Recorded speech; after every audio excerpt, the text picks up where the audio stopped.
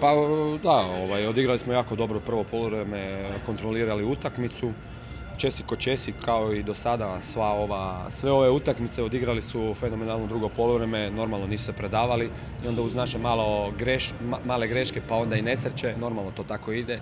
Oni su došli do minus jedan, ali dobro, glavno da smo mi pobjedili, čestitam svojim suigračima, čestitam ovaj, svima koji su nas tu došli podržati, stvarno svaka im čast. Kad dođeš do tog da, da, pred svojom doma, pred svojima, pred svojom publikom ne možeš igrati ono pošto smo svi sanjali, normalno da je teško, ali uh, uspjeli smo nekako, nekako ovaj, se izdignuti i, i pokazali, pokazali zube.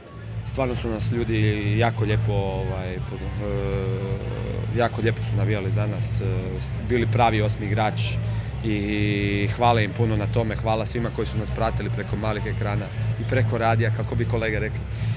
I stvarno od srca hvala. Pa jednostavno je jedna hipnotizirajuća igra i, i sve ovo je bila jedna velika hipnoti game.